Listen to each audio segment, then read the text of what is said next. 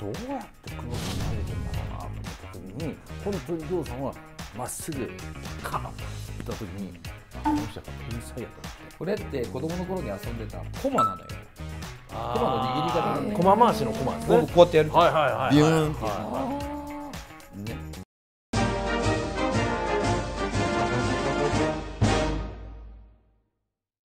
始まりました。K ダッシュセカンドプレゼンツベースボールペディア。皆さんいつもご視聴いただきありがとうございます。え今回は MC 野村弘樹さんとダブル体制でお届けしてまいります。野村さんよろしくお願いいたしおます。さあそして早速今回のスペシャルゲストのご紹介です。工藤公康さんにお越しいただきました。ありがとうございます。よろしくお願い。しますようこそよろしくお願いいたします。よろしくお願いします。お久しぶりです。はい。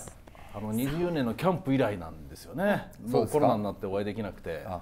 工藤さん監督されてて。あそうですね。やってましたね。はい。やってましたね。やってましたちゃんとやってました。やってました。はいはい。はい。その時以来なんで。はい。ああそうか。へえ。まああっという間ですねでもね。うん。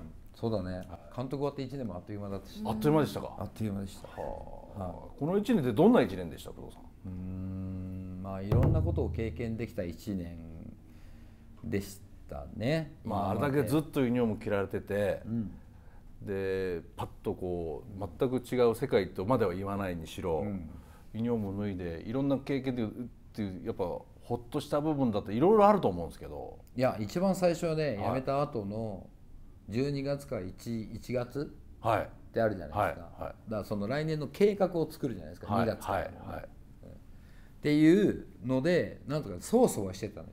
わかります。いや何かをするっていうことではなくてあやんなきゃって思うんだけどあちもう監督じゃないわとかいう感じになってああいつどうしてんだろうって自主トレちゃんとやってるかなとかはそう自主トレの時期になるじゃないですか、はい。年が明けて、はい。っていうとあじゃあちゃんとやってんのかなと思ってこうニュース見たりとかしながらああちゃんとやってるのか。あ関係ねえわー なるほどそうそうそうすごい気になってたじゃあもう体に染みついてるわけですねやっぱどうしてもそういうのはね。そうだね。まあ特にね、うん。最後の方ってこうやっといろいろ選手のことも分かってきてあ自主トレをちゃんとやってくるとか、ね、あまりやってこないでなんとかなるだろうと思ってくるとか、ねあのーやっぱりこう起用歴があったりとかしててでそれで去年苦労したからなどうなんだろうっていうふうになるじゃないですか。でそうするとこうなんか自主トレとかそういう記事を見るとあ今日は今年なんか元気だなとか、なんかそういうのを見て安心している部分があったんで、なんかなんかそういうモードに入っていっちゃってたね。あーじゃあ今ちょっとこう落ち着いた感じですか？まあ落ち着いてるというかもうもう1年あね、はいそうですね、えー経ったので、はい。まあ大体自分のペースとか、うん、っていうのも分かってきたりとかしてたんで自分の時間もあるでしょうし。時間も作るようになってきたし、はい。やりたいこともできるようになってきたんで、はい。うん、やっとまあ4月5月ぐらいになんか自分のペースになってきたかなって感じですね。うん。なるほどね、まあ、今ねユニフォームを脱がれている工藤さんですけれども歴代最長の実働29年という選手生活そして監督業も7年されましてで野村さんとは、えーまあ、同時期にピッチャーとして活躍されていらっしゃいましたし、はい。同じチームに在籍されたことも選手コーチとしてはい。ということで、はい。どうでしょう？現役当時からのお二人の交流というのは球場内外ありますか？害はないですね。ないですね。はい。ないは、はい。え、現役さ最後だっけ？もう終わってたっけ？僕終わってました。終わってたっけ、はいもうまあピッチングコーチで、そうです。ね、であのブルペそうですそうです。ンに僕もいたので、はい。だからいい先生がベイスターズに入ってくれたなと僕は思ってました。いやいや。でまあ工藤さんの思い出というか僕印象は必ず工藤さんと僕キャッチボールをさせてもらってたんですね。へ試合前の練習時間ですね、はい。ーそれは工藤さんからのご指名だったんですか？いやあのーまあなんか若い人たちがいっぱいいてなかなか最初こうなんかやろうぜってなんか言いにくいところもあったので、はい、そしたらあの野村君を見つけて「あやろうよ」って言って、そうです。はい、ただねやっぱ僕すごいなと思ったのは全くリズムが一緒なの。あその取って構えて振りかぶって投げる。でだから僕もそのリズムをこう崩しちゃいけないと思うイメージがあったからだからもうずーっと一緒ですよねこの。それがキャッチボールだなっていうのをもうまじまじと感じたんですけど工藤さんやっぱそこ大事にされてたでしょ？まあそうですね。なんか自分の体の動きっていつも同じように動いていると違いが見えるんですよ、はい、腕の上がるのが遅いとか、はい、足がついてから我慢ができないとかあリリースがどうしてもこう高くなったりとかね、うん、いろんなことが見えてくるのでだから自分のリズムとかバランスとかそのタイミングっていうのをキャッチボールでちゃんと確認をしてでその上で、えー、あ少し張ってるところがあればマッサージして取ってもらったりとかだからどう試合に備えるかってすごく大事じゃないですか。だから見ててもらえると、はい、逆にあのブルペンで投げる時に自分のキャッチボールがあんまり多分取ってると分かるんですよ。あ今日調子がいいなとかあ今日あんまいまいちだなとかあ今日やる気ないなとかそういうところも分かるのでだそういう意味ではこうやってもらうとあ今日はあんまり使わない方がいいかなとかあ今日はいけそうだなとかでそういうところも多分あの野村君の中で確認はできたんじゃないかなっていうふうに思うんで、はい、そのルーティンのこのリズムというかリズムタイミング全く変わらないんで。だからそこの微調整をしながらあの工藤さんはこうキャッチボールしながら投げているなっていうのは十分感じてたんでね。もちろんその調子の良し悪しっていうのは僕よりも本人工藤さんが一番分かってると思うんでそんなことはないです僕だからあんまいやいや言わんかったじゃないですかいやいやもうもういやいや言わないよりもね工藤さん行きますよでちょっと待ってくださいで工藤さん次は行きますからっておちょっと待ってください。工藤さん行きますか？間に合わねえよっていうのやってましたよね。やってました。やってました。僕だから試合でヤクルト戦だったよね。確かに。100球投げましたブルペンで。はい行くよ待って。行くよ待って。行くよ待ってって言って。だからそういう時代があったわけですよね。今じゃ考えられないです。考えられないです。それを僕は工藤さんにやってもらってたというね。だから今日本当ね俺正座しとかないかなと思っていやそんなことはないよ。だってそれはだってブルペンにね,、まあそうです、ね、ブルペンって用意させるのが仕事なので、だからあここだったらひょっとしたらあるかもしれないって言ったら工藤さんやってくださいっていうのが普通だからさ、うん、だからもうもう100球投げてもああで最終的になかったのね登板が。なかったんですね。はい。お疲れ様でした。お疲れ様でした。そういうことになってしまうんですよね。工藤さんね。しんどかったな。今日いっぱいないかな なんてね、工藤さん言われてましたよね。そうそうそうそうそう。そうです。まあそんなのもありながら、まあベイスターズでね、三年やらせてもらいましたけど、すごくいい勉強させてもらいました。いや僕もいい勉強させてもらいましたよ。はい。それまであまりリーフってね、そうですよね。うんやってなかったんで。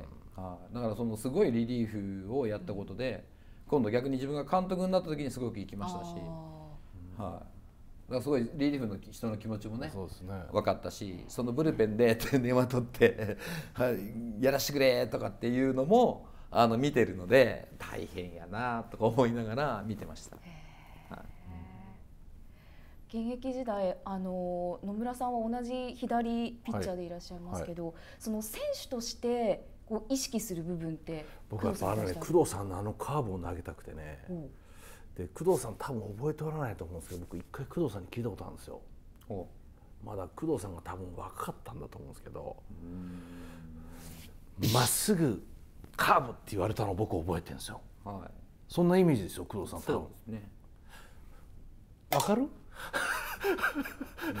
で僕カーブがすごい苦手で、うん、でこうひねりたいんだけど、ひねるとコントロールできないし、抜くとやっぱりこう緩むしスピン量も増えないじゃないですか、だからそれをねやっぱどうやって工藤さん投げてんだろうなと思った時に、本当に工藤さんはまっすぐカーッって言った時に、あこの人やっぱ天才やと思って。いや天才じゃでねやっぱ左の人ってやっぱそのなんていうんですかこうリズムよりも感覚の方も多いじゃないですか。ああ多いね。特に左って。こう言ってこうやみたいなそれをまずインスピレーションで工藤さんがポーン入ってきましたね。ま、っすぐカーブって言われた時に、あ工藤さんはやっぱそうなんやっていう。のが僕大事印象ですけど工藤さんのカーブのイメージって高校の頃からもそうですしプロ入ってからもこのか大きなカーブ得意じゃないですか。これ教わったのか我流なのか。我流です。それは投げてるうちにそれとも自分でこう探りながらですか？違う。投げたら曲がったんだよほら出た。それはカーブを投げてみようと思って投げてみたらあ本に本があって誰も教えてくれる人がいないじゃないですか、野球始めたばっかりなので、はい、でまだ部活に入ってない。学校の部活に入ってない、じじゃあ部活に入ってっつってじゃあ誰かにもそれってら工藤さんすみませんいいくつぐらいの時ですか？小学校3年の1学期が終わって引っ越しをして、はその間の夏休みの間に、い。はえー、と父親と「お前もなんかあのスポーツをやれ」と。い。はい。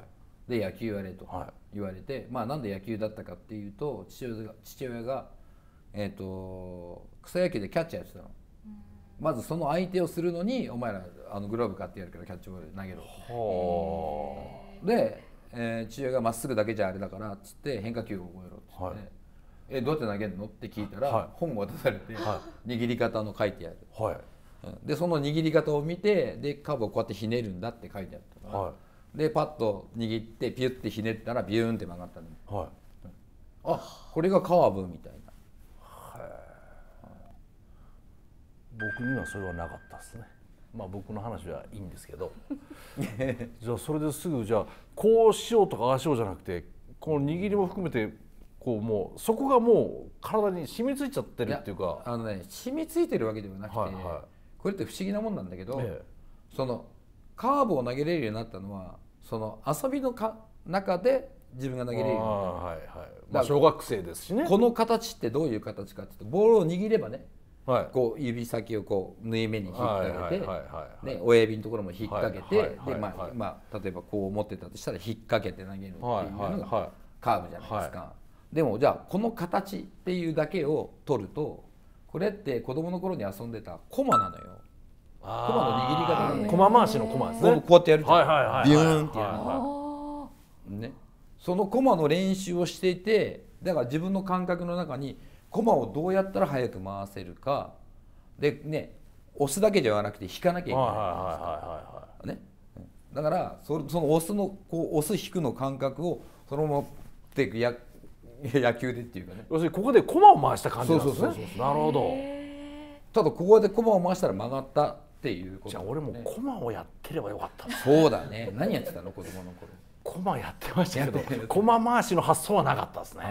いや発想はないんだよ。はい。だから駒と同じだと思って投げてる思えた工藤さんがやっぱそういうことなんですね。思えたわけじゃなくてそういわゆるこうやってたらその動きがそのまま身につくわけじゃん。はいはいはいはい。だから意識しなくても勝手に動いてくれるんだよはあなるほど。だからあの子供たちに、まあ、例えば、まあね、小学生は今変化球を投げられるんですけど、そうやって覚えたい時っていうのは何も野球で一生懸命練習するとうまくいかない子たちたくさんいるんですよ。じゃなくてだから子供の頃にこうどんな遊びをするかっていう。まあねあの最後の方で、まあ、もし何かあれば、そうですね、はい、話をしたいなと思いますけど、はい。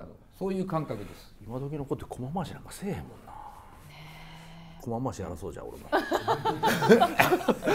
誰にやらせる